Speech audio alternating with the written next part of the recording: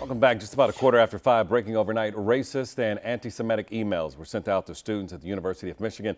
This morning, campus police are looking for whomever's responsible. 7 Action News reporter Nima Shafei has been looking into these emails. He joins us now live.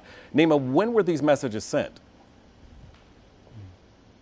Yeah, overnight, Malcolm. In fact, late last night, and as part of their investigation, the police department here on campus engaging with the IT department to help them in their investigation. The email sent out to a number of students, and it's likely to have everyone on this campus talking, as well as likely everyone in Southeast Michigan. The student newspaper, the Michigan Daily, saying the emails had a university professor's name on them.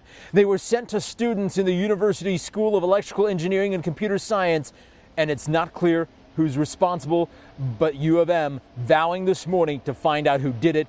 The emails are shocking. Here's one, and it says, Hi, N word. I just wanted to say that I plan to kill all of you. White power. The KKK has returned. Heil Trump.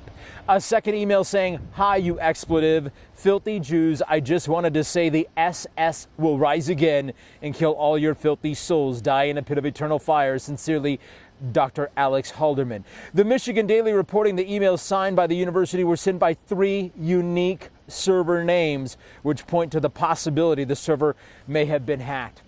This morning, University President Mark Schlissel responding by going on social media in part, sending out a tweet saying, I condemn the hateful messages that were sent tonight. DPSS and ITS are investigating as spoofing and hacking. We will keep everyone updated as we get more information. We're live this morning on the campus of the University of Michigan in Ann Arbor. I'm Nima Shafei, 7 Action News. Thank you.